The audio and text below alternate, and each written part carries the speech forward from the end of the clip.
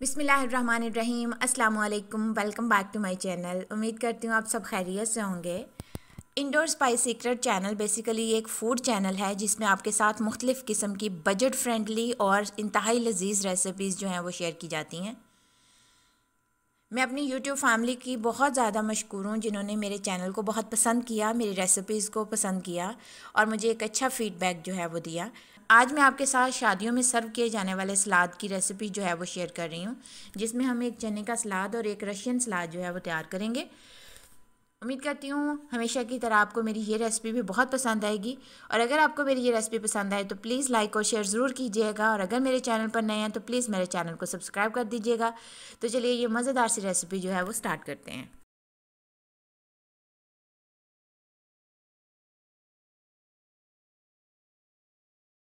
जी तो सबसे पहले हम चना सलाद की जो है वो सॉस तैयार कर लेते हैं। सॉस तैयार करने के लिए मैंने वन टेबल स्पून के करीब जो है वो इमली का पल्प लिया है। इमली का पल्प मेरा गाढ़ा है और उसके साथ ही मैंने टू टेबल स्पून इसमें टमाटो केचप ऐड किया।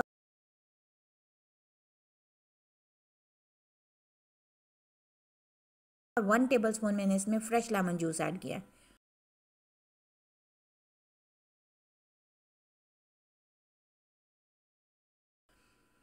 अब इसमें मैंने क्वार्टर टी स्पून नमक क्वार्टर टी स्पून काली मिर्च का पाउडर और वन टीस्पून इसमें मैंने जो है वो चाट मसाला ऐड किया है। अब हम यहाँ पे तमाम इंग्रेडिएंट्स को अच्छे से मिक्स कर लेते हैं और मिक्स करने के बाद हम इसमें चने और सारी वेजिटेबल्स जो हैं वो ऐड करते हैं।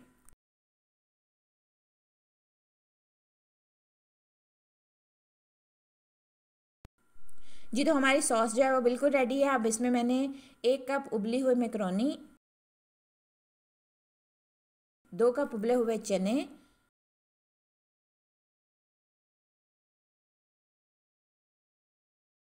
वन फोर्थ कप इसमें मैंने कटी हुई गाजर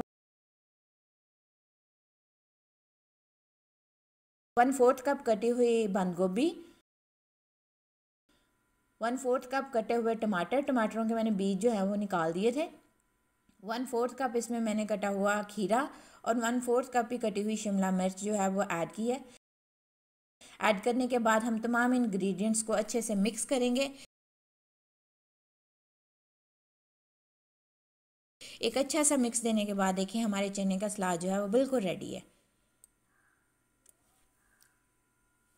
जी तो हमारे चने का सलाद जो है वो रेडी हो गया है। अब हम इसे करते हैं एक साइड पे और हम अपने जो है वो रशियन सलाद की तैयारी स्टार्ट करते हैं।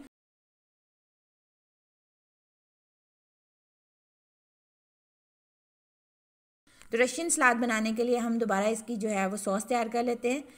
तो सॉस बनाने के लिए सबसे पहले मैंने one tablespoon fresh cream लिया। और उसमें मैंने one and half tablespoon mayonnaise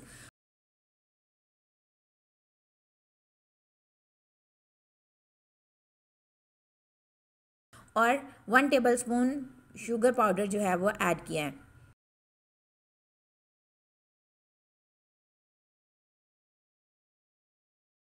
अब इसके टेस्ट को बैलेंस करने के लिए मैंने क्वार्टर टी स्पून नमक क्वार्टर टी स्पून काली मिर्च का पाउडर और हाफ़ टी स्पून जो है वो मैंने इसमें फ्रेश लेमन जूस ऐड किया है।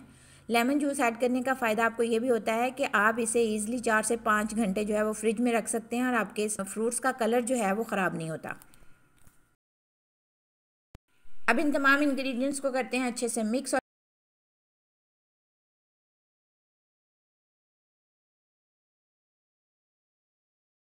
मिक्स करने के बाद इसमें मैंने जो है वो वन कप के करीब उबली हुई मैक्रोनी,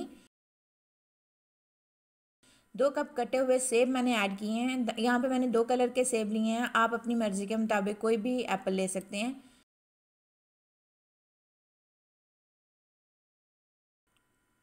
और इसमें मैंने हाफ़ कप के करीब जो है वो कॉकटेल फ्रूट का इस्तेमाल किया है। जो कि टोटली ऑप्शनल हैं, आप इसको अगर अपने घर में खाने के लिए बना रहे हैं तो आप बेशक इनको स्किप कर सकते हैं, लेकिन इससे जो है वो टेस्ट में बहुत एक अच्छा सा फ्लेवर आता है। जी तो अब हम करते हैं तमाम चीज़ों को अच्छे से मिक्स मिक्स करने के बाद देखें हमारा इंतहाई लजीज किस्म का जो है वो रशियन सैलड बिल्कुल रेडी है। अब हम इन्हें सर्व कर लेते हैं।